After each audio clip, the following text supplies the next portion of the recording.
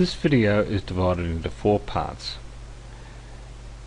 Preparing your site for installation, installing the Kunena component, and setting up your Joomla menu so that you can then use Kunena on your website.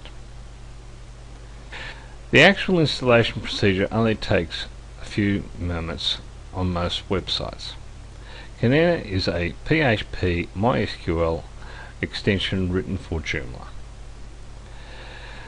Installing software is not something to be done impulsively. It requires good planning and site preparation. The key to a successful and trouble-free installation of Kunena depends on having a solid Joomla foundation upon which you can build a web-based discussion forum. This solid foundation relies as much on your own understanding about how to install Joomla extensions as it does on having a dependable hosted environment. As with all things, the basis for a good implementation of Kunena is dependent on the platform where you install it.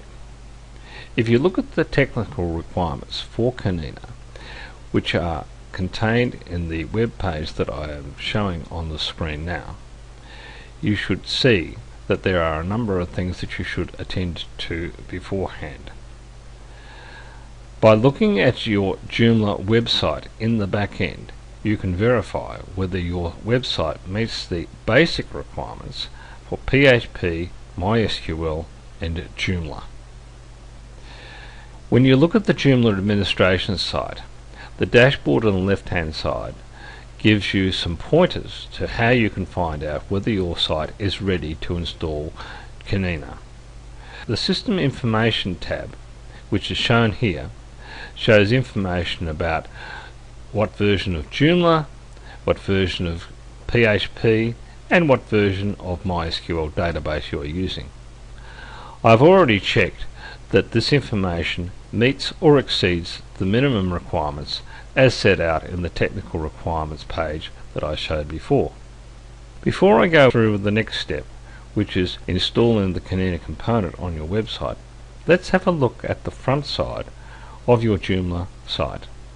You will notice that this test site has nothing in it. Going back now to install the Kunena extension, we go to the extension manager.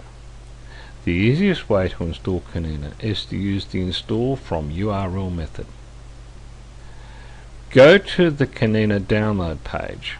On the download page, right mouse click the download Kunena button and choose the copy link location option.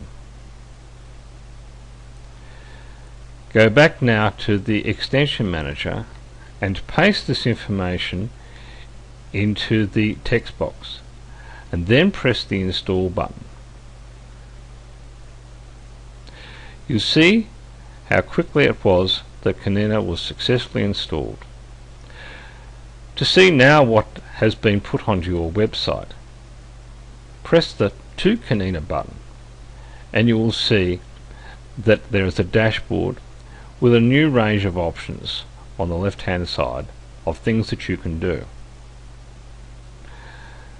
But if we go back now to the test site and refresh it, we do not see any changes that have been made to the test site that allow users to access your forum.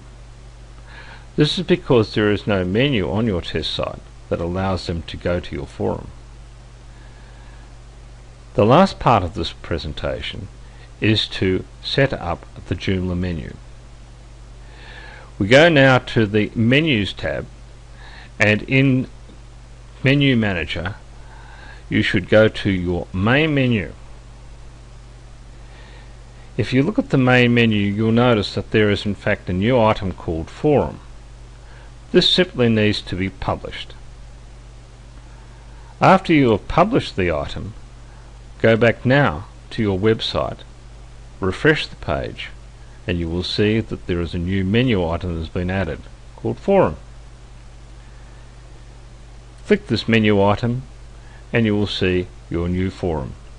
You are now able to use your forum just as any user would be able to use your forum. Thank you for watching this video and I hope that it helps you.